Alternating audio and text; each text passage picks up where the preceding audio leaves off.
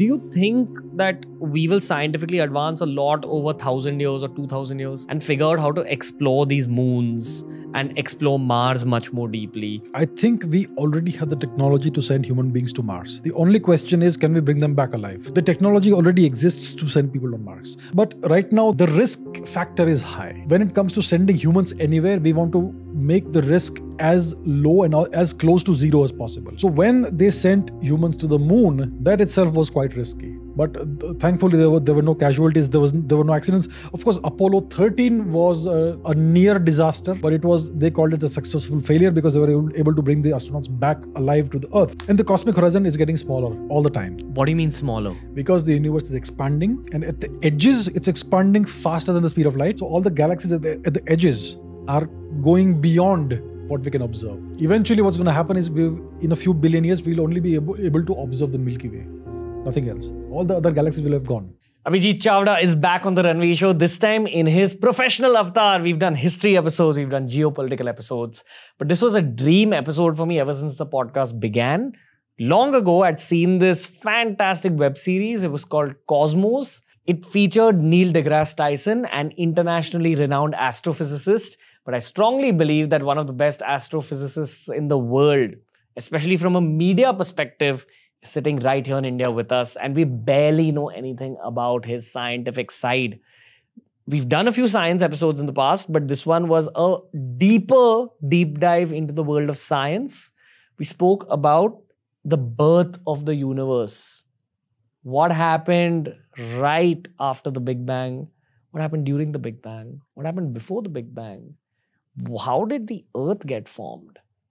How did the dinosaurs get formed? Are we related to some ancient alien race? Let's have a scientist break down all these concepts. And who better than scientist Alpha Omega, Abhijit Chavda? He's back on the show. This one got a little deep, a little technical. I urge you to keep up because if you can keep up with the entire episode, you'll be the most fun, most geeky, but most respected person at social situations because you'll have scientific gyan to dish out. This is AC on the Ranveer Show. Follow us on Spotify. Every episode's available on Spotify 48 hours before it's available anywhere else in the world. Abhijit Chavda with another blockbuster episode begins right now. By the way, there's a part two because part one, part two together got too heavy. This is just part one. Right up till the dinosaurs got extinct.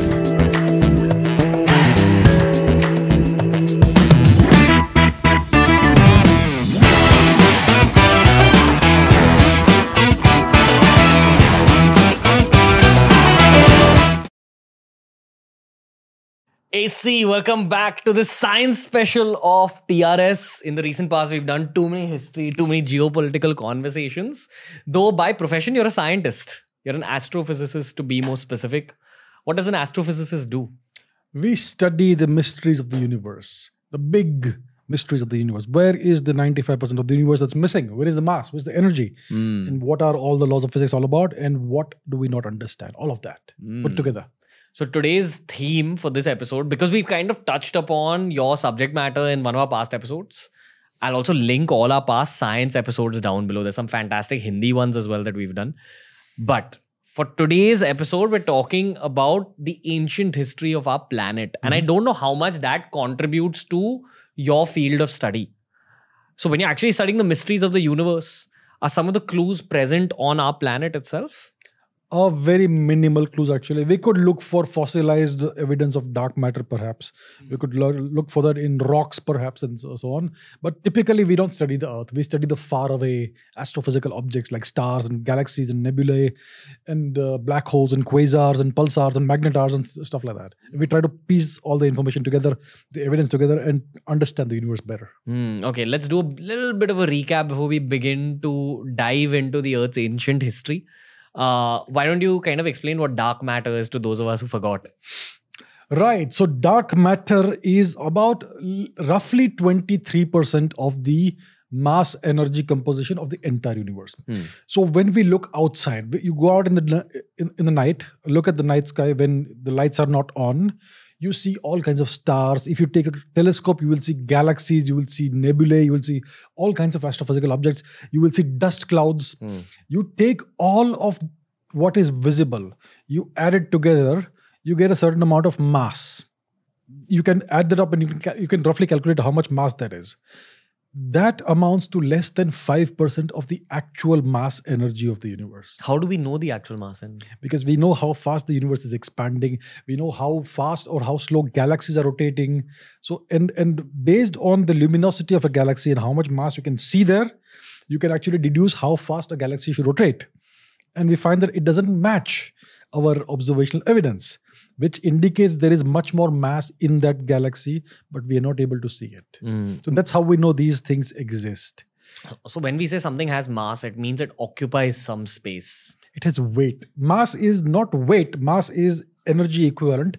It does occupy space, but sometimes some mass may occupy space but may not be visible. Certain massive particles can pass right through you and you will not even feel a thing. There is something called neutrinos. Hmm. So f- every second, trillions of solar neutrinos pass through your body and my body. Every second. Do you hmm. feel a thing? We, we feel nothing. They have a tiny, minuscule amount of mass. We don't feel it. They interact via the weak interaction, the weak nuclear interaction, and we don't feel that at all. You, they don't pass in a straight line, right? They do. They do pass in a straight line. Yes. Is there enough space in our bodies for it to pass in a straight line? It passes right through everything. It passes right through the atoms in our bodies. It can pass right between the electron and, and the nucleus of an atom. It can. It may even pass through the nucleus itself of an atom. How does it go through the nucleus of an atom? It simply doesn't interact. Okay. See, for instance, if I were to push my finger through my palm, my, my palm will resist this Hmm. because this is the Pauli exclusion principle in the electromagnetic interaction at work at the same time. That's why this matter occupies space. When it comes to the weak interaction, it's an extremely weak interaction. It's stronger than gravity, but much weaker than the electromagnetic interaction. And that's why when a particle that interacts only weakly through the weak interaction passes through you, it typically simply won't interact with any of the components, constituents inside your body. Hmm. And uh, th- that's how it typically happens. So, Okay, before we actually move into talking about the theme of today's episode, I want to ask you one question which I've always wondered about. If you clap, if Yeah. you join your hands together, is my hand touching my other hand or is the electron from my right hand touching an electron from the left hand and creating a repulsion because of negative meets negative, therefore they push away each other? And that's what I'm feeling as a mass repulsion of my two hands against each other. when we do this, it's not actually touching. Mm. You go deep inside, you take a, in case such a microscope exists and you go right at the intersection of these two hands, you will find there is a very small gap in between. Mm. right so it is the electromagnetic interaction which makes matter occupy space it's the pauli exclusion principle which comes out of quantum mechanics that makes matter occupy space and as two massive particles let's say two atoms come close together they may most likely not even touch each other and they will be repelled by each other in some cases you may have some some interaction some touching but typically atoms have some distance between each other right that's what happens but it, it seems to us like we are touching and interacting Mm. It makes you think about concepts like God. like, if God has truly created us, how crazy did his or her mind have to be? You know, to create this complex world with complex rules that we're still discovering. Do you ever think about things like that as a physicist? why not? I'm a human being after all. So, look, if you want to truly understand the mind of God, I think that one of the best ways of, of doing that is to try and understand physics. Because physics represents the rules that God wrote down in case God or the gods exist. The rules that he wrote down for us to discover. For us to discover and the rules that govern the universe. Okay. Right? And those rules are encoded in mathematics and in the in, in all the uh, phenomena that we observe. uh, math and often like advanced mathematics reveals truths about physics. Uh, and if you really want to get to know the mysteries, you have to go to the depths of advanced mathematics. Is that right to say? So mathematics essentially encapsulates the patterns and regularities of the universe. Okay. That's what mathematics actually is. But mathematics itself isn't physics. Mathematics can represent any category of objects. Genuine, I mean, physical objects or even non physical objects. You can create a mathematics out of infinite dimensions if you want. There are certain things like Hilbert spaces that that exist in uh, the Hilbert space has infinite dimensions. You can create a 11 dimensional theory called the string theory, 10 dimensional theory, string theory, which may or may not be true, but it works that way mathematically. So mathematics is all about categories. It's all about uh, logic applied to categories of objects. Could you say it's very high quality paint that you can then paint different universes with and different? uh, the mathematics that we know only applies to our universe. In a different universe, you may have 2 plus 2 equals 5. We don't know how other universes work. So the mathematics we observe and we understand only applies, only reveals the truth about this universe, the one we inhabit. Does our mathematics reveal that there could be other universes? Uh, it's not mathematics that reveals this. It is the extrapolation of what we know about the universe, that the universe is expanding. That's why in the past it must have been contracted into a single point, maybe a singularity. And if such a thing happens in this universe, maybe there was a, a universe before our own. Maybe it's a cyclical universe or something like that. And maybe there are multiple universes by extrapolating the extrapolating that to other universes as well. So it's something that we speculate. It may be true, it may not be true. We don't know because we don't have observational data or evidence to support that. But it's certainly possible. Hmm. Okay, fair. Let's uh, get to the Big Bang, sir. One, why did it happen? Two, what was there before the Big Bang? Three, how do we know that the Big Bang happened? Uh, why did the Big Bang happen? See, the best theory of the universe that we have is the Big Bang theory. You'll have to explain it as well. Yeah. So the Big Bang theory says that at time t equal to zero, at the very beginning of time, everything that is that exists within the universe, all the stars, all the galaxies, all the light, all the radiation, all the dark matter, all the dark energy, all of that was concentrated together in a single point. That's how the universe initially was. Then something made the universe expand. The space time within the universe expand. It was not an explosion, it was not a bang, it was a- an expansion of the universe. How slow or fast was it? Uh, well, actually, the when we physicists think of time, we think of it as if, from a logarithmic perspective. You know, the logarithmic scale, Yeah, yeah. exponential scale. So initially, the expansion was incredibly fast. Yeah. Initially, there was something called infl- the inflationary epoch, in which space-time expanded superluminally, which means that the expansion of space-time was faster than the speed of light. Hmm. So you can go beyond the speed of light only in terms of the expansion of space-time itself. But when you're traveling within space-time, you cannot break the speed limit of light. What happens if you do? You simply can't. The laws of the universe prevent you from doing it. But theoretically, If you try to do that, your mass becomes infinite. Hmm. There is something called uh, in in relativity. The faster you go, the more massive you become. Hmm. And if you want to reach the speed limit of uh, the, the uh, light speed, you have to have infinite mass. So it's it's unphysical. You can't have that, right? It's not possible. like your atoms disperse, No. then The, the it's it's not a quantum theory. It's a macroscopic theory. So we don't talk about atoms and molecules in this. Let's say you have one gram of mass, and you're making it travel at uh, 100 kilometers per second. It's gonna be one gram. But if you start uh, pushing it to relativistic velocities, you're gonna have the, the uh, mass is gonna increase from from a certain perspective, and the faster it goes, the more massive that one gram piece of mass becomes. It may become a kilo, it may become a hundred kilos, and the closer you reach the speed to the speed of light, the more massive it is. And- some something gets added to it. No, Then it just the mass only increases. the mass and only, only and that's a mystery. It- terms- it's not mystery. it- It's just the law, the the the equations of uh, special relativity okay. that tell us this happens. Okay. Explain E equals to MC square also. So So E equals mc square comes from quantum theory. okay. It's one of the most fundamental and uh, clearly the most famous equation in all physics. It says that energy and mass are actually equivalent. We have light. Light is photons. Photons are packets of electromagnetic energy. Now, photons are massless because they travel at the speed of light, which, which is why it's light. But each photon has a certain energy. E equals h nu, where nu is the frequency, uh, which is the inverse of the wavelength, right? So, what is the wavelength? It depends on the color. Certain photons are so energetic you can't see them. The electromagnetic, uh, sorry, the infrared light, which is not visible. X rays are also photons. Even gamma rays are incredibly energetic photons. So, light has energy, and energy has an equivalent mass. And that is why photons also can be thought of as having a certain amount of mass, even though they are massless. So that's how it goes. So that's why photons, there is something called radiation pressure. The solar wind is plasma, but there is also radiation that comes out of it. And you can use that in a technology called light sails. So you take a very thin sail, a very thin sheet of metal or whatever, you shine laser pulses at it. It's just light, it's going to propel it forward. The light, the photons have momentum, and momentum also can be thought of as something that comes from mass, but it's actually from energy. So in quantum physics, the E equal to mc squared relation tells you that mass and energy are equivalent. If you have m whatever it is, you can multiply it by it by the square of the speed of light, and you get an equivalent energy. Hmm. Okay, fair.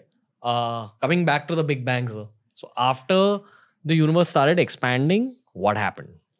After the universe started expanding, first there was inflation, Hmm. then the inflation ended, then there was and then there was a period of expansion. Initially, the the universe was very very dense. In the very beginning, it was just pure energy. Hmm. Then, as the universe expanded, it cooled down, but it was still very hot. And then you had the first atom, the, so the first uh, protons and electrons that formed, and you ho- also had the sea of photons which was going through that. And And so, what was there before? If if you said the first atoms formed, the first protons and neutrons initially. the first protons and neutrons formed. So, what was there before the first protons and neutrons? Because your viewpoint of the universe is that everything is made up of protons, neutrons, and electrons. That's five percent of the universe. Okay, okay, that's what we're taught in our science textbooks. Yeah. So initially, you had just pure energy, essentially, What did it look like? No way to say. just just photons, just light you can think of. But as it expanded, photons are light, but extremely energetic light in, in the very beginning. So it was not visible to human eyes. Of course, there were no humans at the time. Yeah. Like if, if you were to place a human there, what would that human see? Nothing. It was dark, dark. But Just- there actually was light, even in the darkness. That was extremely highly energetic light, way beyond the in uh, ultra um, ultraviolet. Hmm. So see, we see the spectrum of light, the, the rainbow. The lowest frequencies that you see are the red frequencies, and the highest frequencies are the violet frequencies. There is a frequ- frequency spectrum beyond the violet, which is invisible to us. We can't see it. Then, if you go even more energetic, it's X rays, and even more energetic than X rays, you have gamma rays. Gamma rays are extremely dangerous because they are ionizing radiation. They will knock electrons out of your atoms in your body. They will break chemical bonds. They will mutate your DNA. That's why gamma radiation is extremely hazardous. So is X-ray radiation. So in the very early universe, when it was just energy, it was extremely highly energetic photons. Uh, very highly energetic gamma rays essentially then the universe expanded it cooled a little bit as it cooled it it gave rise to matter and antimatter protons antiprotons neutrons, antineutrons, electrons, anti uh, positrons, that sort of thing. But there was slightly more matter than antimatter. So matter and antimatter, when they meet, they annihilate each other and give rise to pure energy again. like an explosion. Yes, an explosion of energy, pure energy, boom, that sort of thing. But there was slight, for, for whatever reason, there was slightly more matter than antimatter. That's why when the universe expanded sufficiently, we have more matter. We don't encounter ant- antimatter anywhere, but we can create that in particle accelerators. So Which is what happened at CERN. yes, we can create antimatter in CERN. Very minute quantities of that are created from time to time. Why don't you actually explain what happened at CERN and why it was such a big deal in the world of science? And I remember before that experiment took place, news media was saying that could this be the end of the earth? could half the planet get destroyed? What's the logic? So, uh, the latest uh, instrument, particle accelerator that has been constructed and operationalized at CERN is called the Large Hadron Collider. It takes extremely high energetic particles, very accelerated, accelerated to close to the speed of light, like 0.99 times the speed of light, almost the speed of light. But these are subatomic particles. They are accelerated and they are smashed together and we want to see what comes out of the smash the, the debris of the of the collision right? And the one particle everybody was looking for was the mysterious higgs boson. So there are 17 particles in the in the standard model of the in the standard model out of which we know that the photon exists. The photon is the mass is the mediator of the electromagnetic force. You have the w and z bosons that are the mediators of the uh, the the the weak nuclear force and so on. But one boson, one particle was missing, which is the Higgs boson, Missing as in like which we had never discovered it. We have we had never encountered it. We had never seen it experimentally, observationally. theoretically we knew it exists. Theoretically, it was postu- it was it was theorized by Peter Higgs in the 1960s and, and a bunch of other people, other scientists, that such a boson should exist. Otherwise, the universe would not have mass. But for a human life, what's the point of discovering that? We don't know what the application is of the Higgs boson yet, or what is it? Uh, the Higgs boson is what gives mass to the universe. There are certain particles that are massless. The photon is massless, right? Some particles are massless. Some particles are very have very little mass, and some particles are very massive. Why is it so? So, in quantum field theory, there are no particles. There are simply fields. And the 17 particles of the standard model are 17 different fields, and each proton, each electron, these particles are merely local uh, disturbances in that infinite universal uh, photon, proton field, neutron field, etc. So the universe is actually an illusion. Whatever we see is an, is an illusion. It's just fields that we are. We are also part of fields. So if such a Higgs boson did not exist, then the universe would not have mass. So the theory is this: there is a boson. There's a particle called the Higgs boson, which imbues the universe with mass. Certain particles interact weakly with the Higgs boson field, with the Higgs field. Those particles have a small mass. Some particles interact strongly with the Higgs field. Those particles have a large mass. Some particles simply don't interact with the Higgs field. Those particles are massless. So that's the theory that was put forth in the 1960s. And everyone was looking for this Higgs boson because we had discovered other bosons like the W boson, Z boson, and so on. This one particle was missing. We had never found it experimentally. And maybe it's because our particle accelerators were not strong enough, were not powerful enough. They did not accelerate the particles to high enough energies. Wh- When you say particle, what is a layman supposed to visualize? An atom? Let's say we are firing two protons at each other. A proton is the uh, nucleus of a hydrogen atom. Hmm? A hydrogen atom is a proton at the center and an electron going around it. Yeah. You strip away the electron, you're left with a proton. That is the nucleus of a hydrogen atom. Let's take a, a- a beam of protons. You you accelerate that to 0.99 times the speed of light. And you take another beam of protons coming in the opposite direction, and you make them collide. And let's see what comes out of this big, massive smash up. It's a very highly energetic smash up because it's almost at the speed of light. Um, so, because the particles are traveling with such incredible speeds, their masses increase, like we, we just discover, we just discussed, right? So, we're gonna have a very massive collision, and the mass of the collision, the energy that results out of it is, is much more than the energy of two protons, because there is the energy of the of the uh, the acceler the speed also, which which increases the energy. So you may have some exotic particles that are formed temporarily, just just fractional, of- momentarily in that collision.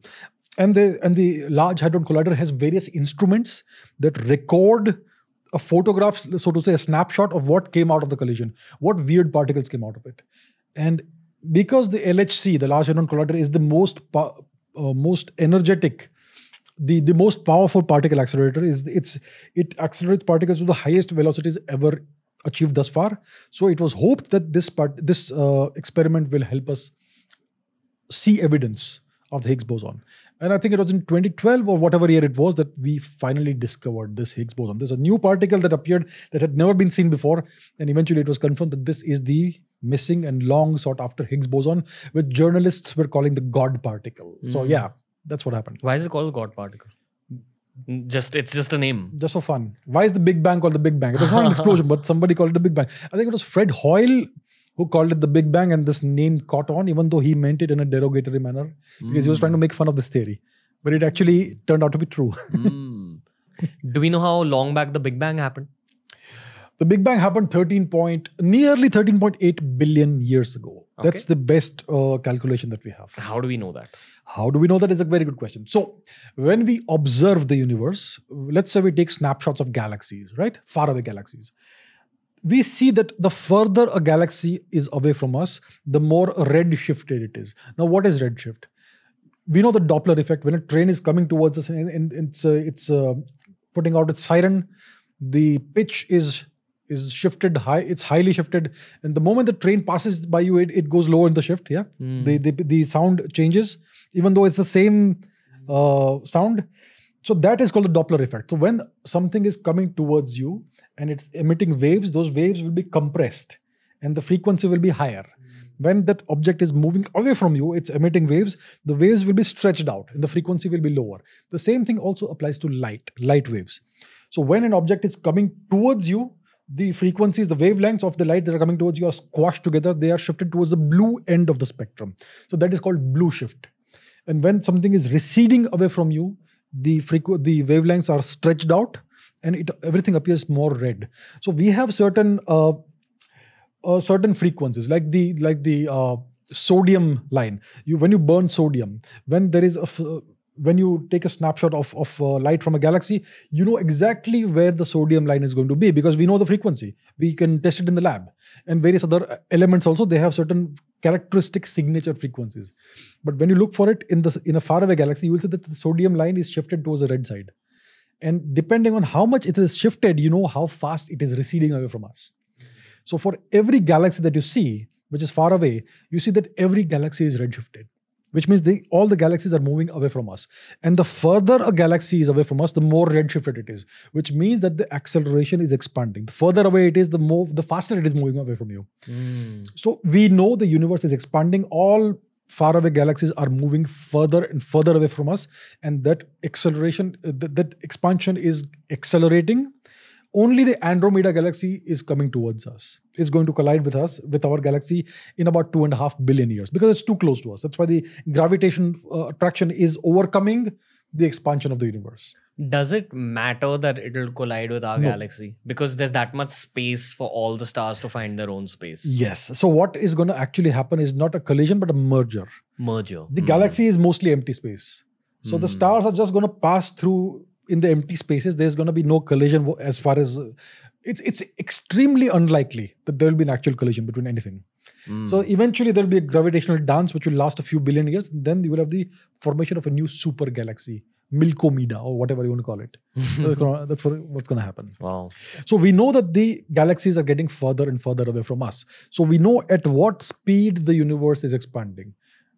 If you ex- extrapolate that back in time, you know that the universe, if you go back in time, it must be it must have been smaller. And if you Mm. calculate this properly, it works out to be about about 13.8 billion years. Mm. What's at the edge of space? The edge of space. That's a good question. So uh, there is something called the cosmic horizon. The cosmic horizon is about 95 billion light years. That's the diameter, the diameter of the cosmic horizon. So the cosmic horizon is a sphere with us at the center. And that's how far we can see in the universe. Beyond that, we can't see anything. Because beyond that, the universe is expanding faster than the speed of light. So that's what's happening.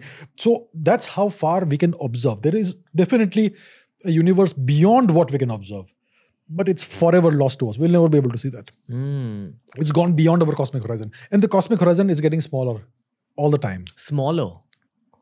What do you mean smaller? because the universe is expanding. And at the edges, it's expanding faster than the speed of light. So all the galaxies at the, at the edges are going beyond what we can observe. Eventually, what's going to happen is in a few billion years, we'll only be able, able to observe the Milky Way, nothing else. All the other galaxies will have gone. Wow, this is a mind bending. Think about it like this you have a balloon, you blow it up, you have points on the balloon. As you blow the balloon, the points go further and further away from each other. Mm. And if you make it fast enough, they're going to go away faster from each other at the speed of light or faster than the speed of light.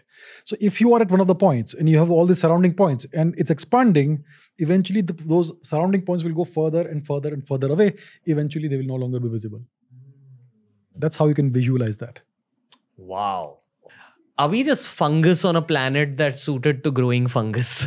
like, like where do we stand as human beings? Like, what is the Earth? Um, somewhere along the timeline of the universe in these 13.8 billion years, uh, there was a massive star which exploded. That was uh, kind of that gave rise to our sun, if I'm not mistaken. What preceded our sun in this exact part of the universe where we exist? So stars are typically uh, born out of self gravitating clouds of dust and gas. Mm. Self gravitating means they have a center of gravity and they're all moving around that. So it typically takes the shape of a disk. Now, where does this cloud of gas and dust come from? It typically comes from the uh, outcome of a supernova explosion, which is the death of a star. But even that star came out of a cloud of gas and dust. So where does that cloud of gas and dust come from? From another supernova explosion. And if you keep winding back, where We do go back to the Big Bang. Okay. the origin of the universe. So our sun is most likely a second or third generation star, right? So so uh, the solar system was born out of a protostellar or protosolar disk. Uh, the formation of the solar system happened about 4.6 billion years before today. Hmm? And the Earth, the proto Earth, the very rudimentary, hot, molten, gaseous Earth, was first born most likely around 4.5 billion years before today. And it looked and felt very different from what it is today. It was extremely hot. It was very hostile to any kind of life you can imagine. Uh, it was molten. Uh, there was like volcanic activity all around. There was an atmosphere. There was no water initially, most likely. The atmosphere was extremely different from what it is today. It was completely toxic, a whole different cocktail of gases. And then there was something called the late heavy bombardment. A massive amount of meteors, etc., uh, impacted the Earth, and most likely it is these meteors that brought in the water. But uh, this happened in a burst, like as if someone took a gun and fired it towards us, or it happened over time. Uh, this was all part of the evolution of the solar system. So initially, as the solar system formed, there was this massive. There were lots of planets, lots of ancient planets that formed, and many of them collided together and burst into pieces. Lots of debris, and there were ancient rocks from the previous solar system that were still around. So all of this was swirling together in this massive chaotic mixture. And because of that there was a period of a few hundred million years where there was this massive constant bombardment of meteors on the earth. Basically, our solar system was a lot more rocky than it is today. it was more chaotic. It was it was very rudimentary and it was still forming. The planets were still shifting posi- positions. Some of them were colliding. There must have been many many more planets at the time. Slowly what happened is that the ga- gas giants reached the the orbits where they are today and they shepherded lots of asteroids out of our way so there are there's a there's an asteroid belt between the orbits of uh, mars and jupiter so that probably is an ancient destroyed planet but those asteroids have been shepherded out of our, our way by the gravity of Jupiter and Saturn. And there's, there are these uh, Trojan asteroids that are also shepherded by Jupiter. They lie on the Lagrange points of Jupiter. What's a Trojan asteroid? Uh, they are called Trojan asteroids because they sit on the Lagrange points of Jupiter. I'm not sure where the name came from. I I don't remember right now, but there is something called Lagrange points. So these are points of equilibrium between the gravity of a planet and the sun. So you can place an object in a Lagrange point, which is either between the Earth and the Sun, or behind the Earth and the Sun, or at uh, 60 degrees angles in the orbit. And the same goes for Jupiter and other uh, planets as well. So Jupiter has these Lagrange points where you have clusters of, of, of asteroids, which are called Trojan asteroids. I think human beings don't understand how much Jupiter and Saturn protect us from Yes. cataclysms. Yes. Like, as in the Earth would have been destroyed if Jupiter and Saturn didn't exist. Yes. Um, so many more questions. You know, all this and these kind of podcasts humble you out a lot. Like, you just realize how insignificant you are in the grand scheme of things, in the grand scheme of time. Like, if you think of the time your grandfather was young, which is what, like 70 years ago? Which is what in the grand scheme of things? An advent of time. He probably exists at the same time as you when you look at it from a macro scale. Yes. You know, it makes you realize how insignificant the events around you are today. Uh, There is this very famous image from Hubble, also from the James Webb Telescope. It's called the Pillars of Creation. You can put that on the screen. So there are these massive pillars of dust that exist far away in a certain uh, region of space. These pillars they look like fingers. Okay, and if you look at the tip of each finger, it's twice as wide as our solar system, and it looks this much, this this just this large in the image. So that tells you that even though our solar system is so vast and we understand so little of it, it's actually that small and completely insignificant in the grand scheme of things. What do we not understand about our solar system? We don't know how many planets are there. Oh, really? really? Yes? Like there could be more that are like There's undiscovered, way more than we imagine. Further than Pluto or further than Pluto. We are discovering new minor planets all the time. First, we thought it was only up to up to Pluto. Then we discovered something called Eris, further away from Pluto, which is bigger than Pluto. We have discovered Sedna, we have discovered Qu- Quaoar, Makemake, Haumea, lots and lots of these objects. And there is most likely something much more massive out there, which is distorting and the orbits of far away solar system objects in the Kuiper Belt, etc. but it's all revolving around our sun. Yes. The same sun that we see. Yes. Why are we not taught this in science textbooks? I have no idea. Maybe it's it's something that happened very recently. So these discoveries have happened typically in the past 15, 20 years. And maybe science textbooks are updated every 200 years or something. I don't know what it is. So that's why it, it takes a little bit of time, you know. Wow. Um, fuck. Do we know what's on these planets? Uh, these these are classified as minor planets nowadays. Uh, It's a bureaucratic thing. What tag you put on what thing? Pluto was one of the planets earlier. Now they have classi- reclassified it as a minor planet. And then there are planetoids and planetesimals and whatnot, Kuiper belt objects and trans-Neptunian objects, all kinds of various categories they've created. But these are all solar system objects in orbit around the sun. And most likely, way beyond the orbit of Pluto, there is something unknown out there. A massive object, more massive than the Earth, most likely, which is causing the orbits of the objects that orbit so far away to be uh, inclined at a certain angle, which would not happen otherwise. So it looks like there is something more, much more massive out there. At least one super Earth kind of planet, but it's so far away, or maybe it's so dark that we can't see it. Why do you call, call it super Earth and Because its mass is is most likely going to be a multiple of that of Earth, okay? like three, four times, maybe ten times, possibly. Why don't you call it super Jupiter? because it may not be a gaseous planet it may be a terrestrial rocky kind of planet possibly possibly More maybe important, maybe it's a black hole really. maybe it's a small black hole in orbit around the sun that would explain why it's not visible who knows it's a possibility and our physicists actively looking for these mysteries. astronomers are actively looking for planet 9 or planet x whatever you want to call it they are but they, thus far they have found nothing Hmm. Maybe it's the closest wormhole for all you know. possible wow. Okay, mind bent already. Um, anything else that fascinates you about our solar system? Um, I think everything is fascinating. I'm fascinated with with Venus. It's our closest. I think it's one. Of, it's either Mars or, or Venus, which is the closest. Maybe maybe Venus. It is a very Earth-like planet, almost the same mass, but one day on Venus is I don't know how many years on Earth.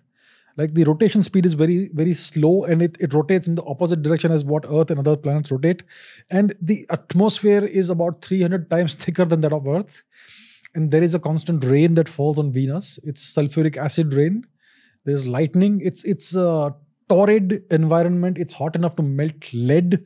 The atmospheric pressure is about 300 times that of Earth. It's very reflective, and uh, yeah, it's it's a mystery. You know, why did this planet become like that? What kind of? It's clearly a runaway greenhouse effect that happened on this planet, right? So that's a mystery. Then there are various uh, moons of Jupiter and Saturn that could harbor life because they seem to have under surface, subsurface oceans of liquid water. We can see that on certain places in, in certain moons. Then there is this moon of Saturn called Titan that has hydrocarbon lakes. And it seems to have, uh, it clearly has a very thick atmosphere. Um, the Huygens probe did touch down on Titan. It- we, for the first time, saw what the surface of this moon looks like. And there are many more mysteries out there. So it's a fascinating place. Our own solar system, we understand so little about it. It's quite possible that there could be microbial life on some of these moons because there is liquid water out there. There is a geothermal activity on these moons. Yeah. It's even possible that there could have been life on Mars in the past because we know there, is, there was flowing water and oceans on Mars. There are so many mysteries. The solar system itself is, is incredibly fascinating. Mm. You know, you spoke about there being microbial life on these moons. For all you know, there could be something larger than microbial life. Maybe some sea monsters down there. if we- Possible? um, we had an astronaut on the show, and I was talking to her about the progress of science when it comes to space exploration. And she said that it kind of improves in steps. You know, you make your way to the moon. Now you're figuring out how to make your way to Mars. Sent a man on the moon. Now figure out how to send human beings to Mars. Um, then you figure out like the next step gradually. Being a scientist and you know, kind of just I'm expecting a very practical, dry answer from you, but either way, I'm gonna ask you the question.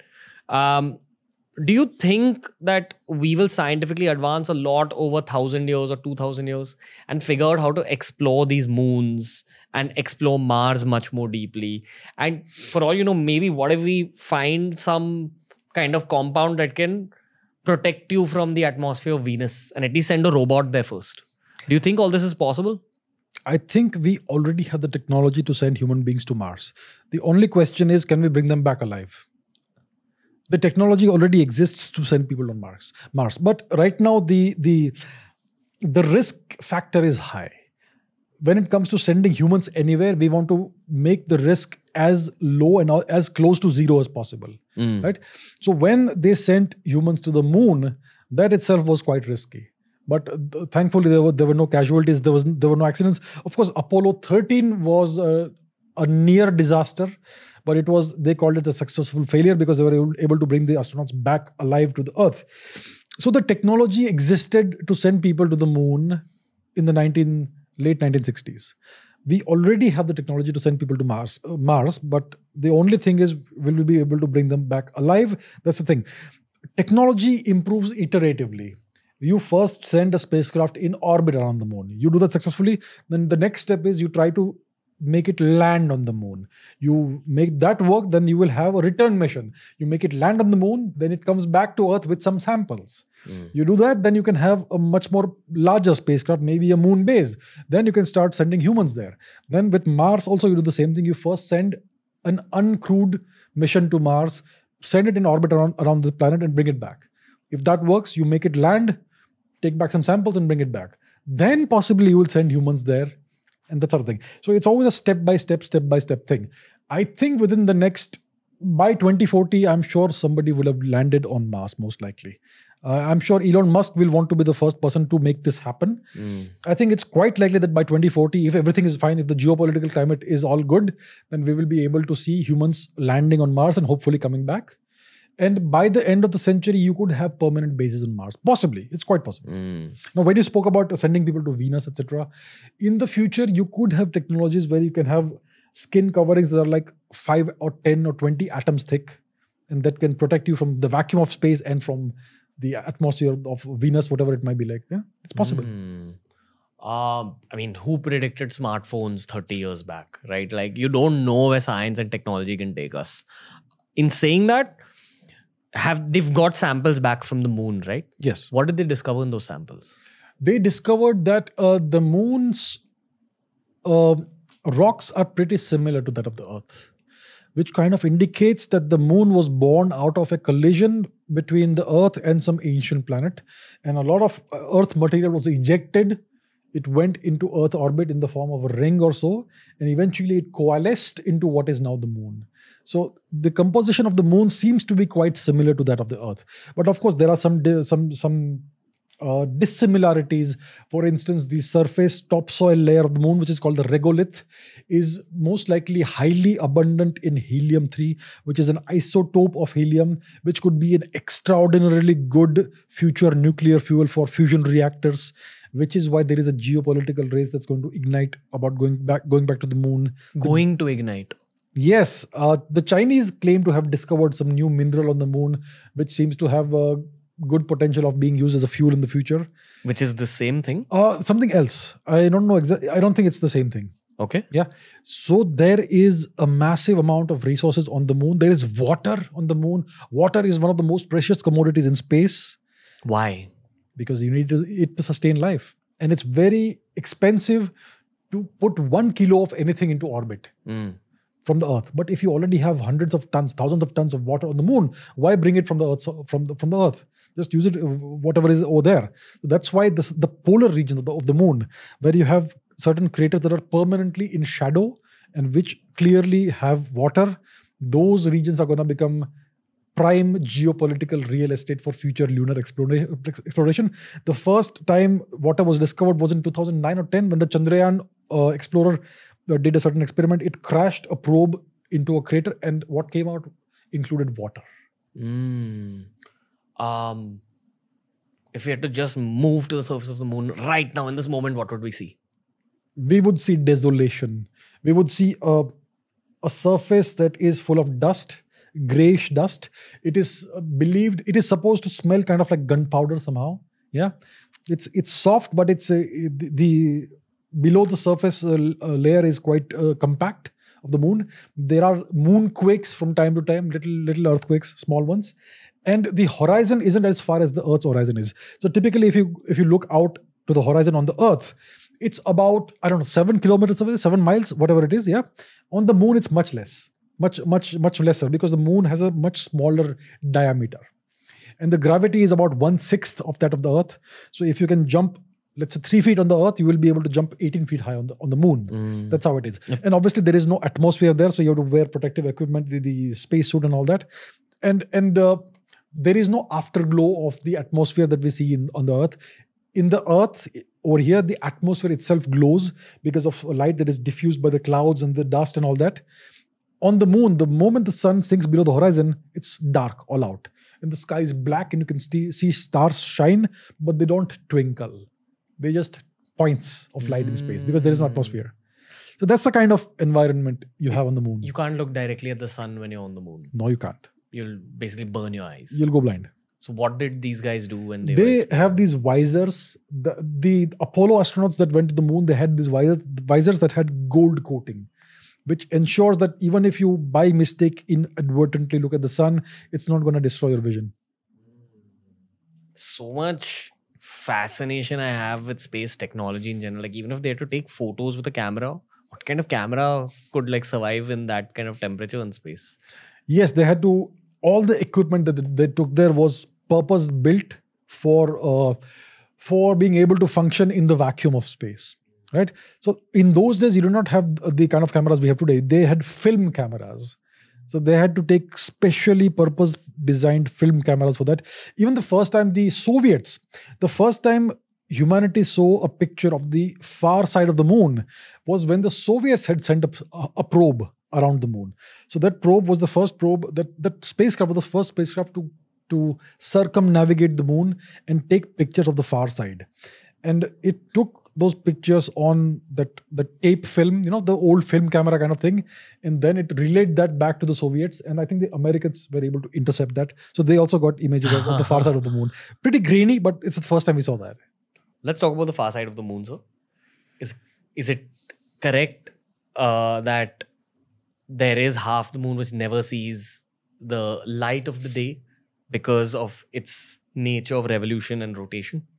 So um, the Earth and the Moon are locked in a tidal resonance. It's a phenomenon that you see with various uh, systems that have a parent object and a, and a moon. So that is something that comes out of the classical physics. So what happens is that the the rotation of the moon matches equally with the time it takes for the moon to take to do one orbit of the earth of the earth which is why if you're on earth you only see one side of the moon but the far side of the moon is not dark it also gets sunlight, but we never get to see it. In the past, we could see it, but right now we are tidally locked. So it's it's a, it's a phenomenon that happens because of the laws of physics, very simple gravitational physics.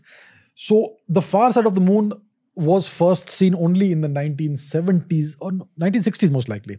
The Soviets first saw it, and it's a very interesting place. The the features are quite different from what we see on the side that is visible to us the most interesting thing about the far side of the moon is that it is completely silent.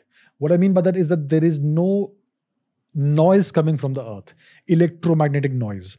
If you are on the near side of the moon, there's all kinds of broadcasts and telecasts and all this electromagnetic radiation, electromagnetic waves and radio waves, all that is complete constantly bombarded over there because of all the terrestrial and uh, space broadcasts that we have on the earth. We have fm stations we have radio stations we have uh, free to air tv transmission transmissions all kinds of things. It's like when you're at the top of a really tall building you can hear all the roads around you and the That's traffic a, around you. Yes. But on the far side of the moon there is absolutely nothing coming from the earth. So if you want to build any kind of observatory the far side of the moon is the best place for that because there is no interference, any noise, any signal coming from the Earth that will interfere with your observations. Hmm. What else do you think is there? I don't think there's anything special. There are no aliens. uh, I don't know. We have not found any evidence of aliens. Why? need need me some aliens. I mean, if I were to write a science, science fiction story, I would certainly place alien artifacts on the other side of the moon where we can't see them. But yeah, now we have sent, uh, we have taken pictures of that place, uh, that part of the moon, and thus far we have not discovered anything that is unusual or that will be like, whoa, what the hell is that? it's just a continuation of what's on the near side. yes. Hmm. Let's speak about cataclysmic events because, as Randall Carlson says, when we look at the surface of the moon and we see craters, we think that, oh shit, the moon's taken a beating from all these meteor showers. But if you were to strip Earth of all its oceans and forests and buildings and study the surface of our planet, it's probably even more uh, dented than that of the moon. if you were to take away all the oceans, all the surface features like uh, forests, etc., you will most likely find nothing. And I'll tell you why. The Earth is tectonically active. The Earth below the below the crust of the Earth, there is this massive ocean of magma, which is molten rock. And because of the activity of the magma, the flowing of the magma, it's swirling, flowing all the time. It sometimes comes out of the Earth's surface through fissures and cracks, and the- those are volcanoes and because of that there is this tectonic activity there are these uh, plates tectonic plates on the surface of the earth that are constantly moving around It's it's like if the Earth's crust was an eggshell, you've basically cracked the eggshell into different parts. yes it cracks and, and moves around and reforms reseals and cracks again Yeah. it's constantly moving around it this process takes millions of years tens of millions of years but typically after a hundred or so million years even if there were meteor impacts they would go below the surface and they would disappear forever Mm. there are certain features on the surface of the, of the planet where you do see meteor impacts. There is one in, I think, Sudbury in South Africa, which may possibly be the oldest known meteor crater on the planet. There is one in uh, Manicouagan in Canada. There is uh, there are a couple of those in Canada, and uh, there is there are a few of them under the surface of the sea. There could be one off the coast of Mumbai called the Shiva crater. There is one of the Yucatan Peninsula, half on the peninsula, half in the Gulf of Mexico, which happened 66 million years ago, which coincides with the disappearance of the non- non-avian dinosaurs. So it is most likely a sign of what happened. Where is this? It's in the Gulf of Mexico. It is in the Yucatan province, Yucatan Peninsula of Mexico. Half the crater is on land; it's buried under the surface, and half of it is is uh, more than half of it is in the sea. It's it's below the surface of the ocean, and the impact the epicenter of the crater is most is close to the village of Chicxulub. That's why they call it the Chicxulub crater, and that is the crater that most likely contributed to the uh, extinction of the non-avian dinosaurs. The avian dinosaurs are still with us, of course. Hmm. Okay, lots of stuff to unpack here. I always wondered how asteroids, which are maybe even like 100 kilometers in diameter, how does an asteroid like that hurt the Earth? In terms of 100 kilometers, is not that much when you look at the Earth's size. And then someone told me, okay, take a bullet and throw it at someone with your hand. It won't do any damage. Then put it in a gun and throw it. And then see kind of damage it does. That's what people don't understand about momentum. That momentum is also an outcome of velocity. These asteroids are kind of surging through space at very high velocities and hitting Earth like bullets. When an asteroid hits the surface of the Earth, and there aren't too many that hit the surface of the Earth in our timelines.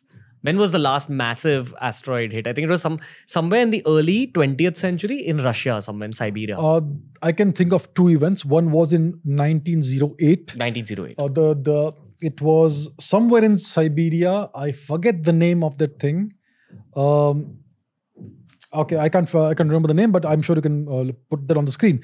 And the more recent one was the Chelyabinsk meteor, which eh, meteorite which exploded over Chelyabinsk. It's a town in, in Siberia.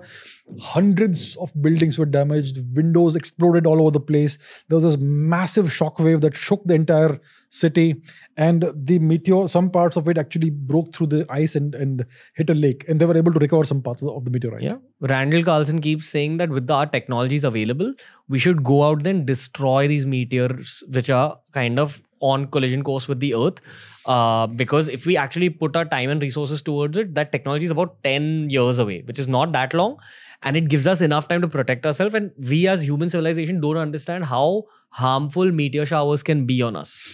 Like if it could wipe out entire races of dinosaurs, we don't even understand what it could do to us. And even uh, the most recent ice age, which was about 10,000 BC, around that time, 11,000 BC, um, was supposedly theoretically caused because of some sort of an asteroid hitting the Earth. The younger Dryas impact Yeah, yeah, theory. yeah. Um, wow, so much to talk about here, sir. And this is actually the juice of this particular episode for me. Um, firstly, let's just begin with what an asteroid impact can do to our planet for those people who don't know much about this subject. Right. So, um, if you go out and, and, and look at the night sky on a clear on a clear night with no light pollution, if you stare at the sky for let's say one hour, you're gonna see at least five or six meteor trails. It's that common. And approximately a hundred tons of meteor dust falls on the planet every single day. So we have impacts, but most of these are micro impacts. Sometimes you have impacts on the ocean that people miss because the oceans cover two thirds of the of the surface area of the of the planet. So there are lots of impacts that we never see, but they happen. Which, if they happened on land, they'd be very harmful. are not very harmful. Typically, these are not very, very massive impacts. But a typical meteorite or, or asteroid, when it hits the Earth or when it enters the Earth's atmosphere, rel- relative to the Earth, it typically travels between 30 to 70 kilometers per second. Not per hour, per second. It's way faster than a bullet. That's that's way faster than hypersonic missiles. It's it's uh, the speed is incredible. At that speed, when it enters the Earth's atmosphere, it compresses the atmosphere so so so much that it it becomes uh, it becomes hot enough to actually burn the atmosphere. The air molecules start glowing and vibrating and vibrating, and that is what causes the long meteor trail that we observe. Hmm. Because the meteor essentially starts evaporating, it in, and within a fraction of a second, most of it evaporates. Now, if it is large enough, the meteor may get so superheated that instead of evaporating in a long streak, it ev- evaporates all of a sudden in an explosive explosion. Like a bomb. Yeah, it, it's like a nuclear bomb in the sky, depending on the size. And some some of these are so big that they actually impact the Earth. While they are in that bomb state. Yes, there is an explosion, but some part of it does impact the Earth. Now, if a meteor or, or if an asteroid is, let's say, 10 meters wide, that's what gives rise to the Tunguska kind of event, 19- 1908. Which did a lot of damage. Yes, it did a lot of damage. It, it flattened about, I don't know how many square kilometers of forest, massive amount. So a 10 meter asteroid flattened out, It was like a small office building kind of thing. but still, I mean, it flattens out. It flattened several thousand square kilometers of forest. Wow. That's this is what people need to understand. This is the universe that we live in. Yes. And, there is shit out. Like you're, if you're scared of sharks in the ocean, look up for Look a up. minute. Anyway, go on. Yeah. So if you have a small office building kind of, let's say one small bungalow kind of meteor meteorite, it's gonna flat flatten several thousand kilometers, square kilometers of forest or whatever it impacts. Yeah. Most likely it will explode in the air itself, but the explosion will flatten everything.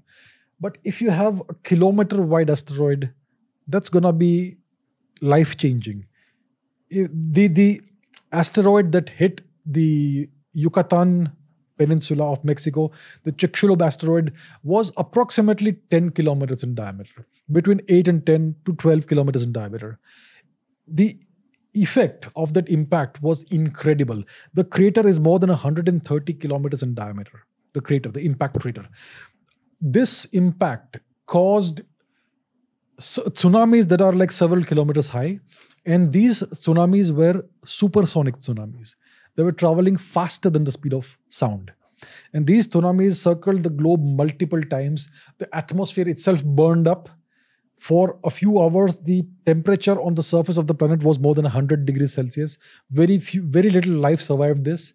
And then there was much of the Earth's crust evaporated in the impact, went up into the atmosphere, cooled down, and then started falling back on the earth like molten magma and lava. And this uh, and then there was this big global nuclear winter kind of thing where all the soot that was uh, thrown out in the air circled the atmosphere for about 10 years. So for about 10 years there was no sunlight. So if you're a living being on the planet at the time of an asteroid impact, what do you experience? initially you will see nothing if you're on the other side- side of the planet. Then you will experience uh, supersonic hurricanes first of all. Storms that uh, come pass through faster than the speed of sound then you will have enormous three two three kilometer tall tsunamis. That are again supersonic in nature. Then of course the temperature will rise very fast maybe more than 100 degrees celsius. So unless you got very thick skin or you can burrow deep down under the, under the ground you're going to perish in that. Yeah. Then there will be the ensuing nuclear winter which means for a, for a decade or so there is there's going to be no sunlight. So all the vegetation will die out. If the vegetation dies out whatever life has survived animal life has survived most of it will die out because if uh, there's no vegetation the herbivorous animals die. If the herbivorous animals die the carnivorous animals die. So very little survives out of this. Yeah, one thing I found fascinating about uh, this whole conversation is the fact that our ancestors existed at the same time as the dinosaurs, and we were the shrews back then. yes. So this is even before we became monkeys. yes Like, as in the what monkeys are to us, shrews are probably to monkeys. yes How did shrews, which are our great great grandparents, survive this kind of an impact? They dug under the earth. most likely these were like uh, mice-like, shrew-like, mole-like creatures, and somehow they managed to survive. They must have dug deep under the ground and held out there for maybe a few days until the temperatures came back to somewhat normal, and then they managed to somehow survive the next decade, which was almost no sunlight and incredibly freezing temperatures because there is no sunlight. They must have survived by scavenging around, eating rotting carcasses, whatever it is of dinosaurs. of dinosaurs, of whatever they found, and they somehow survived. And finally, when sunlight broke through, there eventually was new vegetation, and these were the only creatures that had survived. The this was the dawn of the mammals. The mammals became a thing after this event. Uh, how has the most ancient dinosaur in the world today, the crocodile, survived a nuclear apocalypse like this? Crocodiles most likely survived because they would have escaped underwater. But crocodiles are not dinosaurs. Crocodiles are a completely distinct species. Dinosaurs did survive. The avian dinosaurs survived. They are all around us. They are the birds. If you look at the skeleton of, skeleton of a bird, it's essentially the same as the skeleton of a dinosaur. The closest relative of the T Rex is your common chicken. You know? So birds are dinosaurs. The dinosaurs that lived six, more than 66 million years ago, they had feathers. Most of them had feathers. And we have now discovered that in the fossil record. Most likely, even the T Rex, when it was young, when it was juvenile, it would have been covered in feathers. But as they grew larger, the feathers would have uh, maybe dropped off or something. But most dinosaurs were feathered dinosaurs. And birds are those that survived, the avian dinosaurs. So while I wish to speak a lot more about dinosaurs, this is technically halfway through the conversation I wanted to have with you. And I feel it's too heavy by this point. We've done a very dense conversation by now. I'm going to divide this particular podcast into two parts. Second part, let's talk about the story of the earth from dinosaurs onwards. And there's a lot to unpack there as well. Uh, considering that we spoke about asteroid showers as the last kind of element of this first podcast, what would you like to tell the listeners about space in general, the universe in general, our place in the cosmos? Well, space is mostly empty, and yet it's not empty. Uh, if you go through space, you will find that there is radiation all over the place.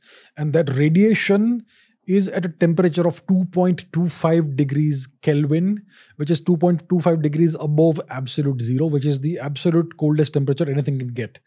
Now, this radiation that you find in outer space is the afterglow of the first light after the Big Bang. And this first light after the Big Bang emerged about between 250 and 300 million years after the Big Bang. Until that time, the universe was completely dark. Mm. Why is it so? Let me explain why. When we think of the sun, we think of an extraordinarily luminous ball of light. But if you were to go inside the sun, beyond the atmosphere of the sun, inside deep into the interior of the sun, it's dark. It's dark. Can you imagine that? Can you mm. believe it? Mm. Let me explain why. The sun is incredibly dense. At the very core of the sun, there is this interior core layer of the sun, the core region of the sun, where hydrogen atoms are squeezed together by the force of gravity and they are fused together into helium atoms. Right? This process gives off photons, which are particles of light essentially. But these are extremely high energy photons called gamma rays. Now, the sun is so dense, the material in the sun is so dense at the core that this light, if it tries to travel anywhere, it hits another atom. And it hits and it gets it, it gets absorbed. Then it's emitted again. And before it can go anywhere, it gets absorbed again. This happen again, this happens again and again and again. So essentially, what I'm saying is that a photon that is born in the core of the sun, in the interior of the interior of the sun, takes between a hundred thousand to a million years, or maybe more, to exit the sun. Wow. Wow. My God. And then it takes it just eight minutes to reach the earth. and give this planet life Yes. and give it culture and give it religion and all, All of these that. wars that we fight. Yes.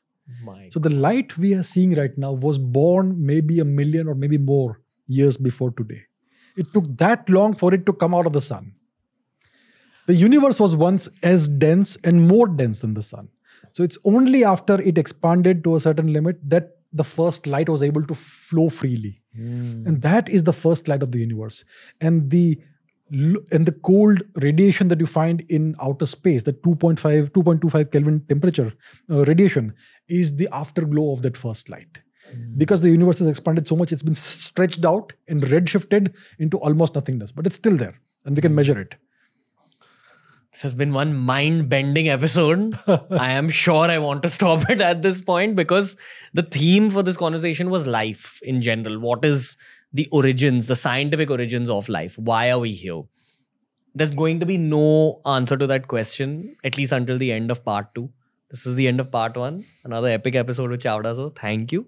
And I think part two, we're going to cover everything from dinosaurs to the story of evolution to megafauna to possibly answering that question about what is life. So thank you for another epic recording, sir. Most welcome. That's right. We cut it short because it was just getting too heavy. And sometimes, as a podcaster, I can't make content that's 10 steps ahead of the audience. I can only make it eight steps ahead of the audience. I know this was a very heavy episode. I'm assuming that we've had AC on the show so much that you guys are comfortable with him speaking about such deep concepts in this much detail. Um, this is one of those episodes that even I'll keep going back to over time just to kind of brush up some of my scientific concepts. Because trust me, the deeper you get into science, the deeper you understand life. And honestly, the more humble you feel about your own existence. Make sure you don't miss part two. It was even more fun than this one. This one was the slightly more technical, the slightly deeper part. For more episodes just like this, follow us on Spotify. Every episode's available on Spotify 48 hours before it's available anywhere else in the world. Give me some scientist recommendations, drop your comments, and don't miss part two, everybody. I'll see you later.